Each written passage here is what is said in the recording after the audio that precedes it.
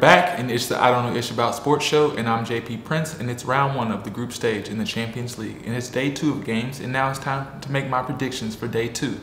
And don't forget to make your official bets on the BetMGM app.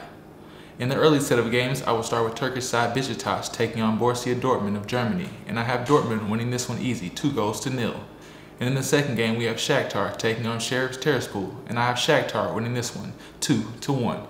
Now to the late games, and we will start with Ajax taking on Sporting, and, I'm taking Ajax two goals to one.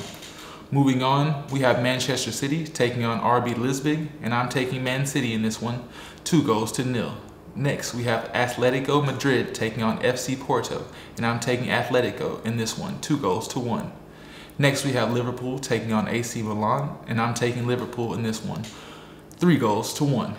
Now to PSG versus Club Bruges, and hopefully we get to see the debut of Messi, Neymar, and Mbappe on the pitch at the same time. And I'm taking PSG, three goals to one. And finally, in our game of the day, we have Inter Milan taking on Real Madrid in beautiful Milan, Italy. And this will be a hard-fought game, but I expect Benzema and Vinicius Jr. to get on the score sheet, and the defense to be solid and to bend but not break. So I'll take Real Madrid, two goals to one. Thank you for watching. Like, comment, and subscribe. And remember, I don't know ish about sports. And thank you for watching. Peace.